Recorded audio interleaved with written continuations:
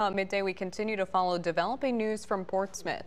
A police officer fired several shots at a shooting suspect last night. We first told you about this breaking news on Wavy News 10 at 11. Now 10 on your sides. Kamaria Bray has details on the investigation from Elm Avenue, including new video of the scene. We're on Lincoln Street and Elm Avenue. That shooting took place just down the block. At least 20 gunshots rang out last night, and it was caught on surveillance camera. It was a quiet night on Elm Avenue. Neighbors say there was an argument, and then. And it kept going. 10 gunshots total within a minute.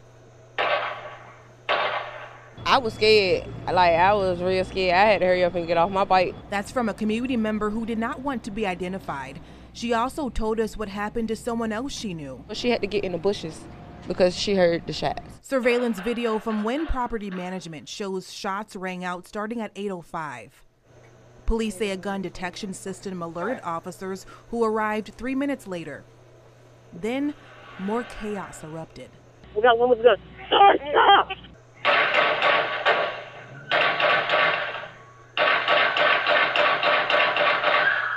Sixteen gunshots. Police say officers shot at a shooting suspect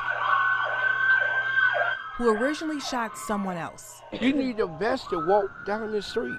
People say shootings are bad in the area. Fourth of July around here. All you hear, A church nearby the shooting on Elm Avenue has a bullet hole in its window from a different shooting. Stray bullets don't have nobody name on it. Community members hope one day no guns will be in their neighborhood.